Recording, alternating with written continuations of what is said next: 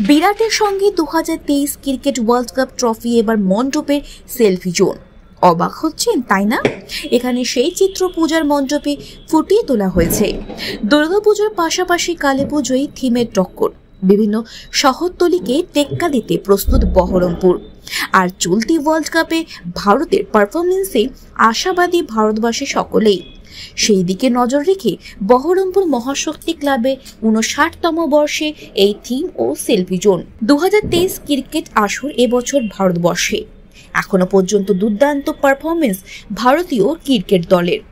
সেমিফাইনালের আগে পর্যন্ত এই world cup top scorer Virat Kohli.